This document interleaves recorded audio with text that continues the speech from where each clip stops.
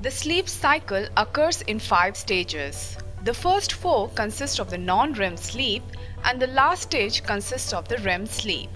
In adult humans, the non-REM sleep accounts for about 75 to 80% of the total sleep.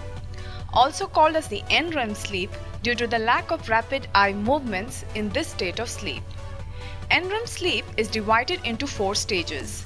Stage 1 is characterized by drowsiness, stage 2 by light sleep, stages 3 and 4 by deep sleep.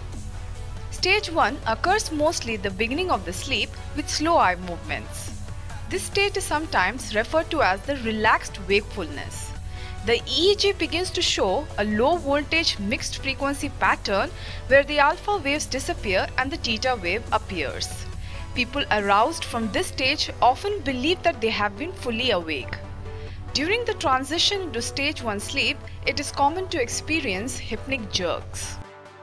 Stage 2 is marked by the appearance of sinusoidal waves called the sleep spindles and occasional high voltage biphasic waves called K complexes.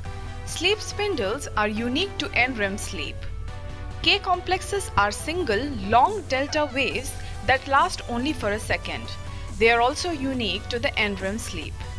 In stage 2, no eye movement occurs and dreaming is very rare. The sleeper is quite easily awakened in this stage. In stage 3, a high amplitude delta wave rhythm dominates the EEG waves. It is a transition between stage 2 and stage 4 where the delta waves associated with deep sleep begin to occur. In stage 4, maximum slowing with large waves is seen. It is sometimes referred to as the slow wave sleep.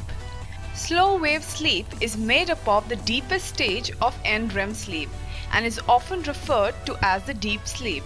It has a characteristic pattern of rhythmic slow waves which are synchronized.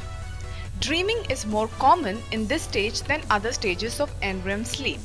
The content of the slow wave sleep dreams tends to be disconnected, less vivid, less memorable than those that occur during the REM sleep. Parasomnias most commonly occur in this stage. A person will typically feel groggy when awoken from this stage and the mental performance is somewhat impaired. This phenomenon is called the sleep inertia. It is important to note that the stage 3 and stage 4 has been reduced to stage 3 in 2007 update by the American Academy of Sleep Medicine.